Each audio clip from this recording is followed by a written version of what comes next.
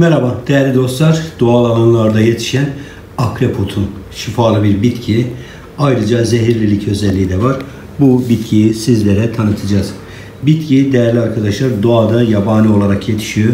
Özellikle işlenmiş tarım arazilerinde, yol kenarlarında, e, yine çaylık alanlarda yetişen bir bitki. Bu bilimsel ismi Heliotropium Europaum olarak geçmektedir. Bitki bambulotu olarak da en çok biliniyor. Aynı zamanda aygün çiçeği, e, beyaz bambul e, gibi isimlerle de anılıyor. Şifalı özellik gösteriyor ancak e, fazla miktarlarda alındığında değerli dostlar zehirli olabilir. Bitkiye akrep otu denmesinin sebebi görmüş olduğunuz çiçek e, kısmının hemen şuradan belli oluyor. Akrep kuyruğu gibi e, bükülmesi bu şekliyle akrep kuyruğuna benzetildiği için akrep otu denmektedir. Ayrıca eski zamanlarda bu kriter baz alınarak akrep sokmaları yine diğer böcek sokmaları ve yaralanmalara karşı kullanıldığı biliniyor.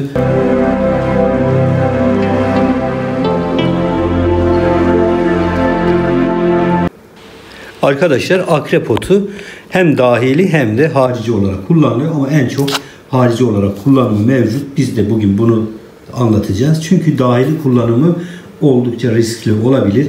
Bir uzman kontrolünde e, veya doktor nezaretinde kullanılması e, şifa sağlayabilir. Çünkü dozu çok önemli. Ancak biz bunu tavsiye etmiyoruz. E, şimdi anlatacağımız şekliyle haricen kullanımını anlatacağız. Arkadaşlar yaprakları ve çiçekleri dövülerek lapa haline getirildiğinde her türlü ısırıklara karşı özellikle böcek ısırıkları, yine arı sokması, akrep sokması gibi durumlarda bu lapa o yaranın üzerine koyarak konarak e, iyileştirdiği biliniyor. Bu şekliyle e, özellikle böcek sokmaları, akrep sokması gibi e, durumlarda hatta köpek ısırığı e, durumda kullanıldığı biliniyor.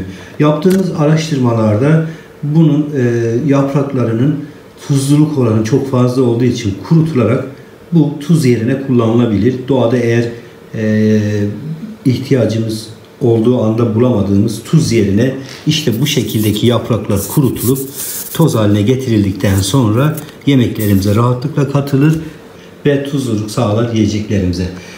Yine arkadaşlar e, bir araştırmamızda da eski zamanlarda bunun e, çiçek ve yaprakları kurutularak elde edilen çayının e, kuduz hastalıklarına karşı kullanıldığı ve olumlu sonuç verdiği biliniyor. Ancak miktar ve dozu hakkında e, bir bilgiye ulaşmadığımız için bunu önermiyoruz. Sadece bilgi olarak sizlerle paylaşmak istiyoruz. En çok dediğimiz gibi arkadaşlar akrep kuyruğuna benzeyen çiçekleri ve yine yaprakları ezilip e, lapa haline geldikten sonra başta isimden de anlaşılacağı üzere akrep sokması olmak üzere diğer hayvan ısırıkları, böcek ısırıkları, arı sokmalarına karşı bu ciltte tedavi edici özellik gösteren bir ot akrep otu bilimsel ismi Heliotropium aurepeum olarak geçen bu bitki.